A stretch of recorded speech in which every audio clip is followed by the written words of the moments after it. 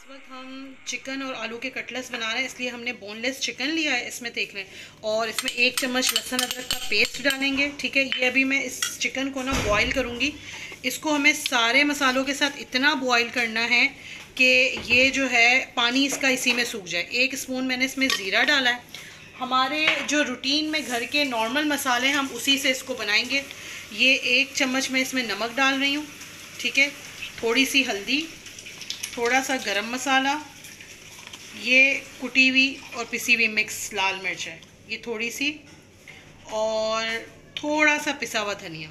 ये सारी चीज़ें मिक्स करके इसमें पानी डाल के, पानी बहुत ज़्यादा नहीं डालना, क्योंकि हमने चिकन को पानी के साथ सुखा देना है बिल्कुल।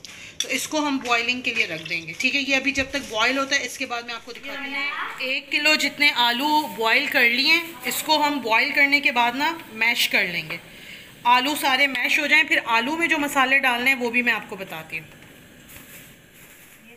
हमने आलू मैश किए थे, ये हमने अच्छी तरह मैश किए और जो चिकन बॉईल किया था, उसका हमने रेशा किया है और ये सारी चिकन जो है हम इस आलूओं में डाल देंगे, ठीक है?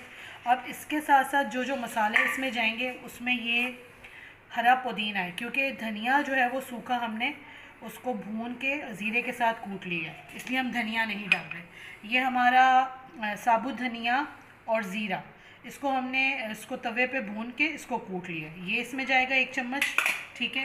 अच्छा कुटी हुई लाल मिर्च और हल्दी थोड़ी सी। लाल मिर्च भी एक चम्मच और हल्दी बहुत थोड़ी सी। सिर्फ़ एक टच देना है हल्दी का। ये अनारदाना एक चम्मच, ठीक है? अनारदाना आपके पास ना हो तो इसको आप स्किप भी कर सकते हैं। नमक जो है वो हमने लिया है एक चम्मच, क्योंकि नमक हमारा चिकन में भी मौजूद है। और ये चाट मसाला है ये चाट मसाला घर का बना हुआ है। इसकी रेसिपी आपको चाहिए होगी तो बता देना। ये चाट मसाला एक चम्मच ठीक है? इन सारी चीज़ों को डाल के हमने बहुत अच्छी तरह आलूओं के साथ ये मसाला और चिकन मिक्स कर जो आलू का मिक्सचर है वो सारा रेडी हो गया है। अब हम इसके ना एक कबाब की फॉर्म में कबाब बना लेंगे। इस मिक्सचर से हम तीन चीज़ें बना सकते हैं। एक आलू के और चिकन के कटलस दूसरा हम इसको ब्रेड में डाल के सैंडविच बना सकते हैं और तीसरा हम इसके ब्रेड रोल भी बना सकते हैं। फिलिंग हमारी यही होगी, बाकी मेथड हमारा चेंज हो जाएगा। थोड़ा सा ऑयल मैंने लगाया अपने हाथों पे और अब मैं कबाब की शेप में इसको अच्छा उसी आलू से हमने कुछ आलू के कटलस बना लिए और कुछ आलू के बोनट बना लिए अब इसको हम अंडा लगा के ब्रेड क्रम्स लगा के फ्राई करेंगे फ्राई पैन में और इसको फ्राई करने के लिए हम बेसन का एक बेटर बनाएँगे। उसकी भी मैं अभी आप लोगों को तरकीब बता देती हूँ। तो ये दो हमारे डिफरेंट फ्राई आइटम हो जाएँगे। पाँच अदर ब्रेड के पीस लेके इस तरीके से इसको चॉपर कर लें। या आपके घर में अगर ब्लेंडर है, उसमें भी आप इसको ब्लेंड करके बारीक बारीक पीस सकते हैं। तो इस तरह घर के ब्रेड क्रम्स रेडी हो जाएँगे।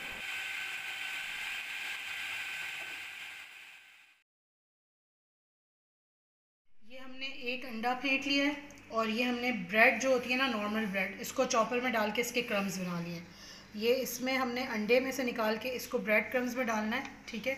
और इसको इस तरह से ब्रेड क्रम्स लगा के एक साइड पे रखते जाना है। ये हमारा जो है, बाद में हमारे फ्राई के लिए कबाब रेडी पैन में तेल गरम किया है कटलस को तलने के लिए। इसमें हम अपने कटलस डालेंगे और इसको हम गोल्डन ब्राउन फ्राई कर लेंगे, ठीक है? एक तरफ़ हमारे कटलस फ्राई होंगे और दूसरी तरफ़ कढ़ाई में हमारे बोनट्स फ्राई होंगे। ये देखें, इसको हमने एक दफ़ा मूव कर लिया है। बस इतना ही कलर हमें चाहिए कटलस का, इससे ज़्यादा नहीं, क्योंकि आलू पके हुए हैं।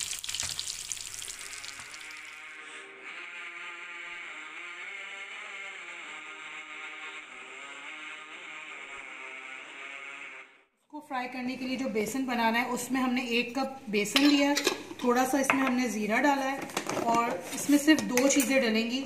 एक हमारा एक स्पून जितना नमक, ठीक है? नमक आप अपने हिसाब से भी डाल सकते हैं। कम ज़्यादा जो भी आपने खाना हो। और थोड़ी सी कुटी हुई लाल मिर्च, बस।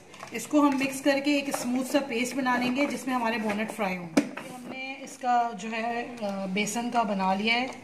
ये इसमें एक कप पानी डाला है और एक कप ही बेसन है। और ये इसकी कंसिस्टेंसी इतनी होनी चाहिए कि हमारे बोनट इसमें डिप होके फ्राई हो जाए। ठीक है? जी, ये रेडी है।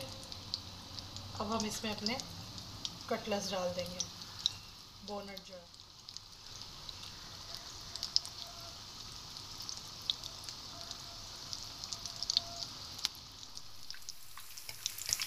ये जो गरम घी है, ये इसके ऊपर डालेंगे ताकि जो कच्चा सा बेसन है, वो ऊपर से पक जाए और फिर इसको हम मूव करेंगे।